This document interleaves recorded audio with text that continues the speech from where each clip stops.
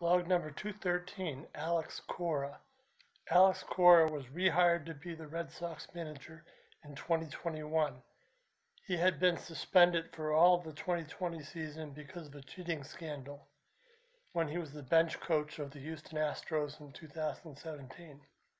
A little bit about Alex Cora. He was a baseball player. In 1998, he debuted with the Los Angeles Dodgers. He was a utility player in the infield. He played with the Dodgers until 2004. In 2005, he signed with the Cleveland Indians. In the middle of the season, he was traded to the Boston Red Sox.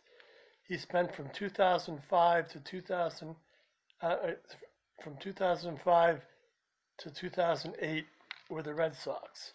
He won a World Series with the Red Sox in 2007. He then went on to the Mets, the Rangers, and the Nationals, and he retired from the game in 2011. He was hired to be the bench coach of the Houston Astros for the 2017 season. The Astros won the World Series that year. He was hired to be the Boston Red Sox manager in 2018.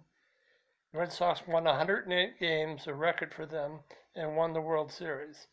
Last year, Major League Baseball found out about a sign stealing scandal from 2017 with the Houston Astros.